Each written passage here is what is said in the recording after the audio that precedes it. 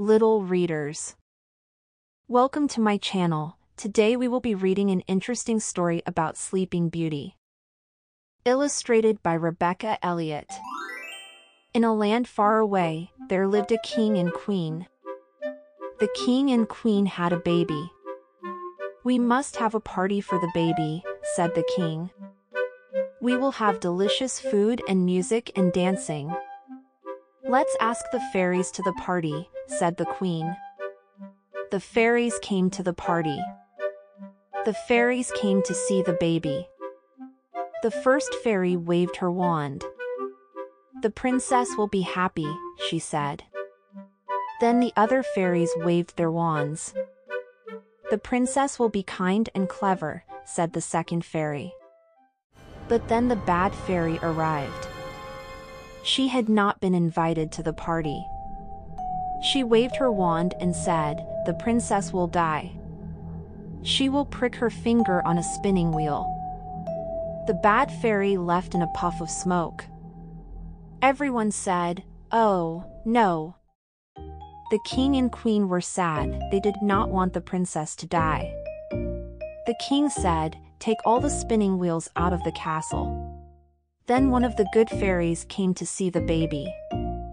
She waved her wand and said, The princess will not die. She will go to sleep for 100 years. Thank you, cried the king and queen. One day the princess was playing in the castle. She saw a little room at the top of the castle. The princess climbed the winding stairs up to the little room. The princess opened the door. She went into the room.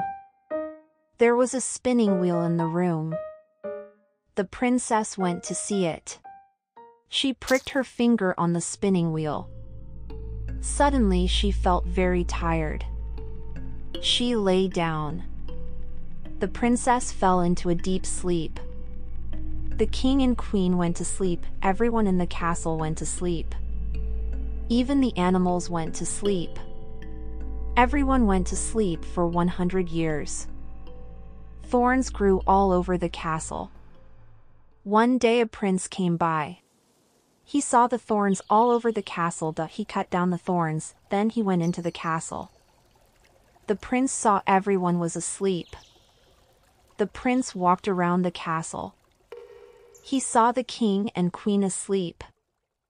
The prince went into the little room at the top of the castle. The prince saw the princess. When he saw the princess he fell in love with her. He kissed the princess. She opened her eyes, I've had such a lovely sleep, she sighed. When the princess woke up, everyone in the castle woke up too. When the princess saw the prince she fell in love with him. The princess was happy. The prince was happy. Everyone was happy. The prince and the princess decided to get married. Let's have a wedding party, cried the king.